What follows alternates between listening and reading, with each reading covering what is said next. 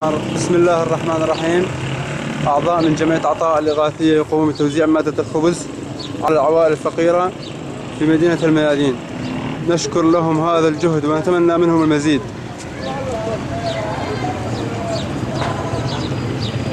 طبعا هذا الخبز يوزع على العوائل الفقيرة في مدينة الميادين حصرا في شهر رمضان المبارك. مجانا لكل فقير محتاج في هذه المدينة.